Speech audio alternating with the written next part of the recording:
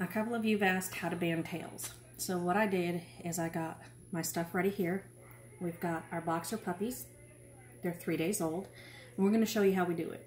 Now, what I use is beading cord elastic. You can get this at Walmart. I have just a little pair of scissors.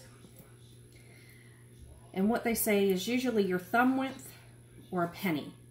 And I'll show you how to measure that. These guys are a little bit bigger puppies. Um, some of them are a pound and a half already. So we're going to go a little bit bigger. Now I've already cut my beading cord. There's one for each puppy. And I cut them about six to eight inches long so I have enough to move and work around so I'm not up close. And what you're going to do is you're going to take your puppy and you're going to take your coin on the underside of their tail to get about a good me measurement and see. So right about there is where I would put the band.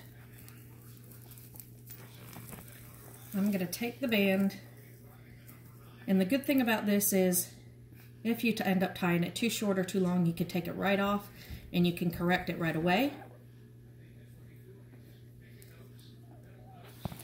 But right here, if you see, she's not happy. Right about there. Yes. Now, you give it a quick pull like that. It does not hurt them.